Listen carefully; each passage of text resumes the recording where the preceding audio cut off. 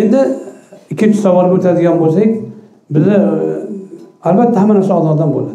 Lekin sabab aynan ayolning sababiyatini so'rayotgan bo'lsangiz onam juda katta sabab bo'lganlar. U kishidan oldin bu dadamni onasi. Otamiz e, oltita qiz ko'rganlar bizdan oldin. Hatto beshinchi opam tug'ilganda bir o'rtog'i kelib farzand ko'ribsiz yahyoxon nima bo'ldi? desa dadam hazillashib endi qiz bola qiz tug'adida boshqa nima qiladi degan ekan. Beshinchisi ham qiz bo'lgan oltinchisi ham qiz o'lgan keyin biz tug'ilganmiz. O'sha uzoq muddat cho'zilganda bu ko'p duo qilgan ekanlar. Ko'pchilik o'g'il bersin deb duo qilar ekan. Bu hasan husan bersin deb duo qilar ekan. Egizak bersin deb duo qilar ekanlar bu egizak bo'lsin qori bo'lsin olim bo'lsin deb duo qilar ekanlar bu o'shuning uchun duoda ish ko'p va duo sizga bugun ijobat bo'lsa qo'rqmang. Olloh ertaga bugungidan ko'ra yaxshi qilib bermoqchi bo'lgan bo'ladi. Bu ko'p duo qilganlar va ko'p yig'lab doim tahajjud o'qiganlar ko'p duo qilgan ekanlar. Ana shu duolarni baraka ayol sifatida opa otalar ham qilgan men faqat ayollarni aytyapman. Ota ham xizmat qilgan lekin ayollarni o'zini aytyapman. Bu shunaqa ko'p duo qilgan ekanlar va aytar ekanlar inshaalloh shunday bo'ladi deb duo qilyapman deb. Duolari ijobat bo'lgan ekan. Keyin e, onamiz ko'p xizmat qilganlar. Onamiz bizga sakkiz yoshimizda otamiz o'tib ketganlar. Undan keyin asosan onamiz qaraganlar. E, birinchi halol yedirganlar o'zlari chevarchilik qilardilar qiyinchilik bilan e, o'stirganlar. Men o'zim biz onamiz bilan o'tamiz ona bilan o'tamiz yosh bolamizu. Har kuni tahajjudda onamni duosini eshitardim pichalab duo qilardilar lekin eshitilardi. Biz uxlayapmiz deb o'ylardi. Biz shuning uchun bizga tahajjud oddiy ibodat bo'lib ko'ringan oilada. Onamiz doim tahajjud o'qigani uchun bizga haligi odatiy bo'lib ko'ringan. Onam duo qilardilar. Duo qilganda har bitta farzandni nomma nom aytib duo qilardilar. Birinchi farzanddan boshlardilar. Nodirani deb turib boshlardilar. U vaqtda turmushga chiqqanda turmush o'rtog'ini ham qo'shib duo qiladilar keyin ikkinchi qizga kuyovga kuyovga qizga shunaqa qilib o'tib oxirgi bizni ham alohida duo qilardilar ko'p duo qilardilar har kuni har kecha xatosiz. Ana shu duolarni barakoti bo'lgan. Xizmat ya'ni halol luqma va ko'p duo qilganlar uchinchisi ko'p duo olganlar. O'zlari qiynalib e, bu topishlariga qaramasdan o'zimizga zaruriy narsalarni olgandan keyin bir so'm oshimsa albatta o'shani bir kambag'alga berib bir bemorga berib yo bir ahli ilmga berib bizga duo olardi. Ozgina uyimizda dasturxon to'kin bo'lib qolsa qo'shnilarni chaqirib mehmon qilib ancha muncha unisi unisidan datar o'targa kelib qo'ygan bo'lsa to'y to'lqinda yurishlardan hammasini o'sha kelgan mehmon ayollarga tarqatib bizga duo olardilar. Bu juda ko'p bo'lgan bu alloh rahmat qilsin. Keyin ilmga qiziqtiradilar bolani urib o'qitish noto'g'ri narsa majburlab o'qitish. Balki qiziqtiradilar keyin ulamolarni qissalarini boshqalarini ko'p aytib berardilar. Shu ham bizga ilmga muhabbat paydo qilgan. Adabiyotga bo'lgan qiziqishimiz ham asli qonda bor. Qozonlar shoir bo'lganlar dadam ham shoir tabiat bo'lganlar badiiy bo'lgan dadam. Oddiy o'tirib bir gap aytmoqchi bo'lsa shu nazmga solavergan o'sha vaqtdagi bir qancha shoirlar kelib dadamdan she'rini o'tkazishardi. O'zi shoir bo'lib tanilmagan lekin oddiy e, nimada? Suhbatni orasida ham she'r aytib ketaverardi opamlar shoshib qolardi qog'oz qalam olishga yozishga.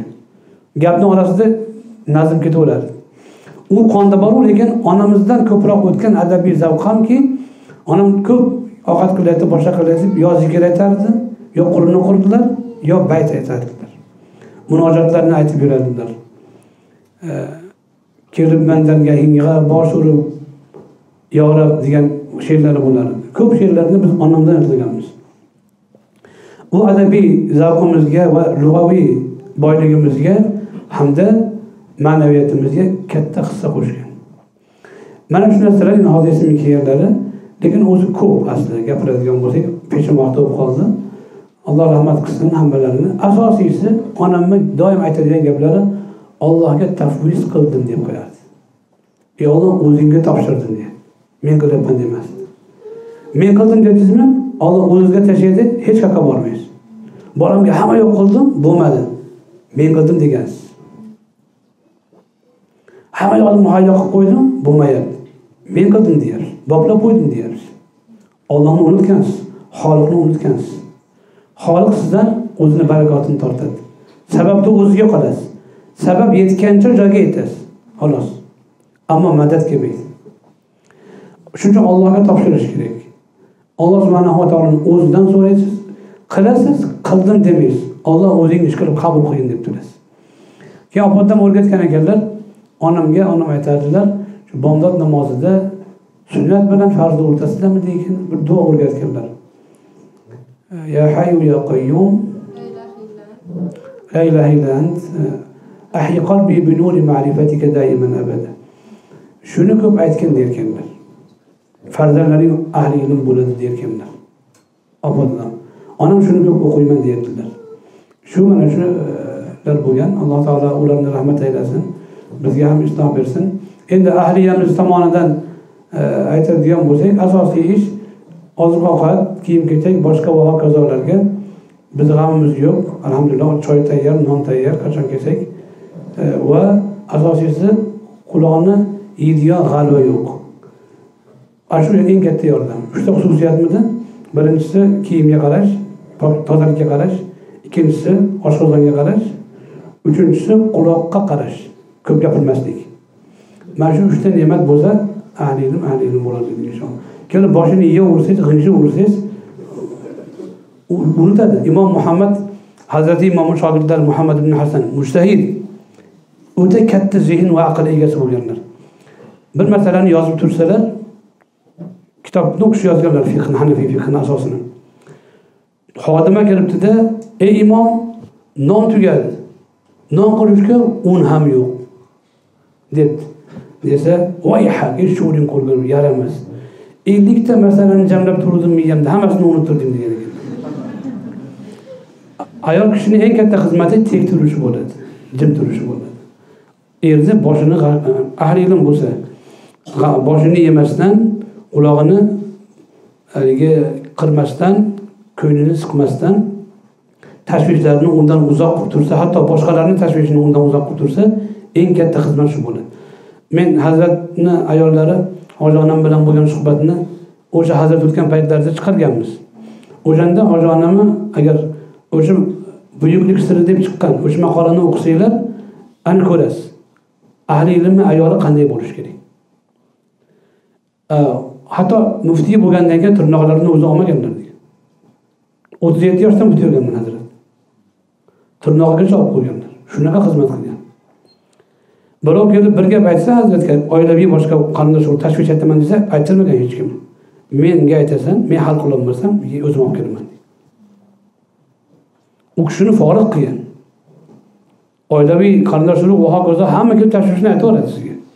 Shuni ayttirmagan bu xususiyat biznikilarda yo'q lekin. U kishida bo'lgan. Tushundingizmi? Bu shaxsiyat quvvat. O'shaning uchun hatto nabiralarni o'qishga bermoqchi bo'lishsa o'g'illar hojoni hamma yoqda pishirib turib oxirgi xulosani olish uchun hazratga aytarkan. Nabiralarimizni o'qishga bermoqchimiz. Falon joy bor ekan falon maktab bor ekan falon maktab bor ekan. Uni o'rgandik bundoq ekan. Buni o'rgandik bundoq ekan. Uni o'rgandik bundoq ekan. Siz nima deysiz derkan hazratga mana unga bersa yaxshi bo'ladi. Bo'ldi bir daqiqada ish bitadi. Kelib olib palonni o'rgan majlisdasiz unaqa majlisdasiz bunaqa majlisdasiz deb boshini og'ritaversa ilm yozolmaydi u.